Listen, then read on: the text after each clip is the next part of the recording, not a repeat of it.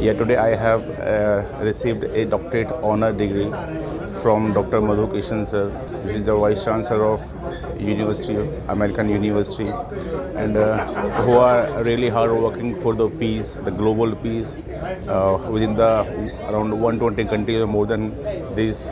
Uh, it is really pleasure and honored to me. Really, it is being in association with this university and being a part of the doctorate.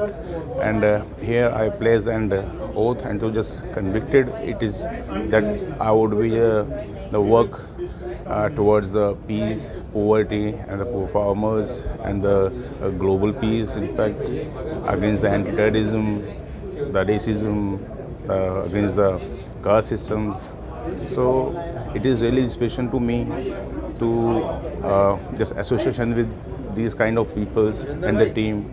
So on behalf of my all team and uh, my all work, and uh, really it is. Uh, uh, recommendable, remarkable for me, and uh, it would be the continue in the future also.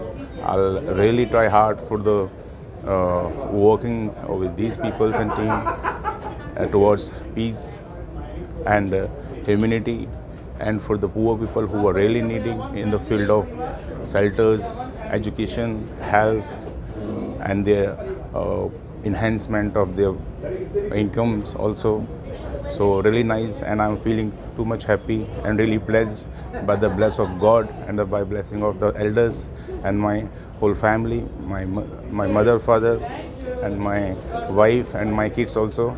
They are sitting over there, and they also feeling very blessed. Thank you so much. Thank you very much, and God bless.